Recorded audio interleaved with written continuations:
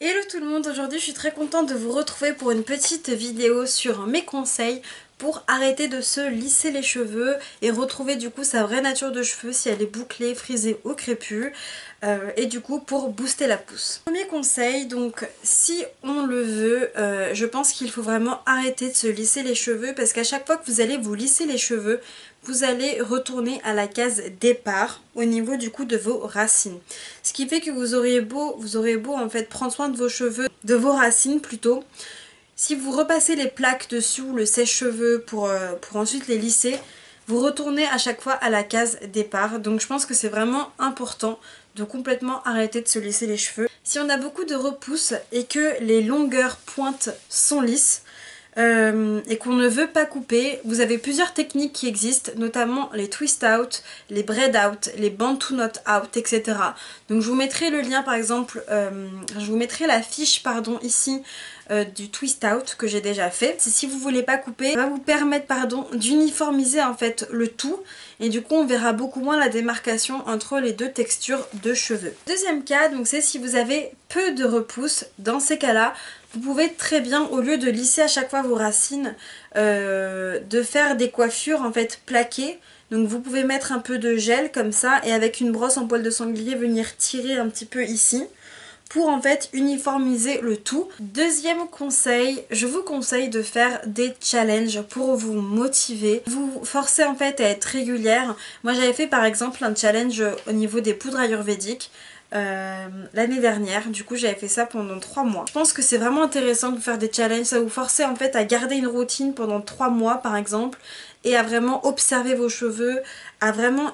Il va falloir écouter vos cheveux en fait dans ces moments-là. Écoutez vos cheveux pendant un, une laps de temps... Euh, pendant un laps de temps que vous aurez défini vous-même. Et du coup, je pense que vous serez beaucoup plus à même de voir une pousse de vos cheveux à ce moment-là. Conseil numéro 3, euh, alors euh, c'est un conseil mais en même temps c'est pas vraiment un conseil, faudrait voir.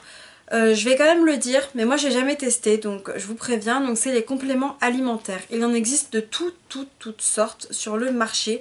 Donc si vous, vous voulez vous diriger vers ça, je vous conseille vraiment en tout cas de bien, bien, bien vous renseigner. On va rejoindre mon quatrième conseil.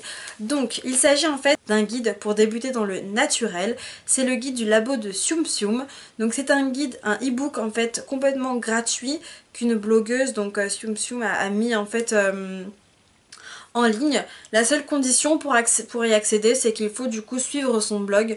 Mais franchement, vu toutes les informations qu'il regorge, je vous conseille vraiment d'aller jeter un coup d'œil. Et même pour moi, ça me sert encore.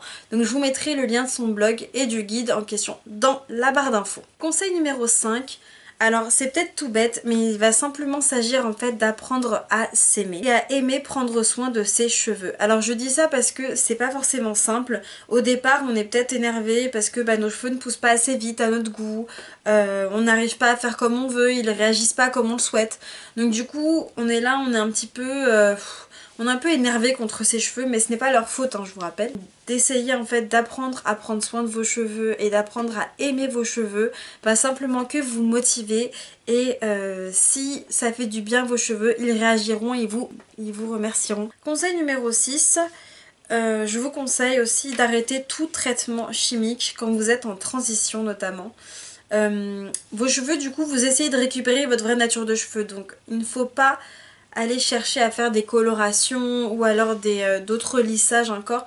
Faut savoir en fait ce que vous voulez. Soit vous voulez arrêter euh, le lissage et du coup retrouver votre texture de cheveux ou alors vous voulez continuer dans le lissage, dans les colorations chimiques, etc.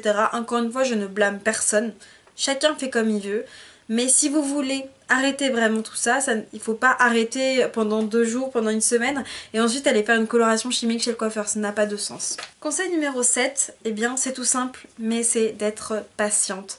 C'est hyper important, c'est long, c'est pénible, je suis d'accord avec vous, c'est relou, on a envie que ça pousse, on a envie, voilà, surtout vu les vidéos qu'on voit, les photos qu'on voit des filles, on se dit mais moi aussi, moi aussi, je veux, je veux.